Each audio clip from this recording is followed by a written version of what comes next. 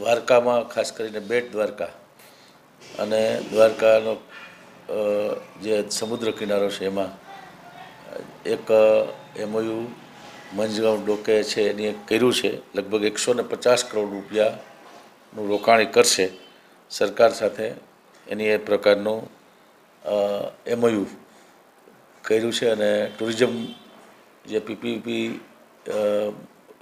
થી જે કંઈ આ પ્રકારના પ્રવાસનને વેગ આપવા માટેના પ્રયાસો કરે છે. એમાં આ મંજગાંવ ડોકે છે. એનો આ પ્રોજેક્ટનું એમઓયુ થયું છે.